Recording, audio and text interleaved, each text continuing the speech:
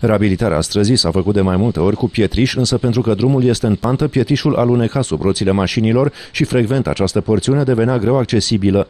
Este o mai veche dorință a cetățenilor care lucrez, locuiesc în această zonă ca această pantă care este cunoscută sub denumirea de Cicere să fie uh, reabilitată prin asfaltare și este și pentru noi un avantaj pentru că uh, reparațiile făcute cu pietriș costă și mult și trebuie făcute de 4-5 ori pe an. Șeful compartimentului reparații și întreținere străzi de la Urbana, Vasile Pârja, a spus că s-au luat și măsuri pentru ca asfaltul să reziste cât mai mult pe această stradă.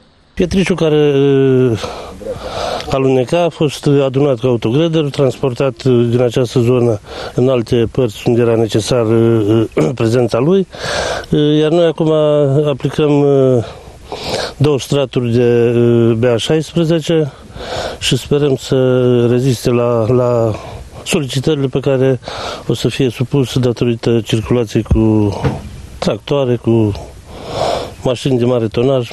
În zona Cicera din Iapa s-au turnat asfalt pe o distanță de 240 de metri, însă se dorește extinderea porțiunii reabilitate măcar cu câțiva metri. Avem o distanță de 240 de metri, comanda de la primărie fiind oricum pe 300 de metri. Sperăm să se ajungă la o înțelegere ca să putem extinde acest tratament dincolo de niște rigole transversale care sunt construite pentru ape pluviale.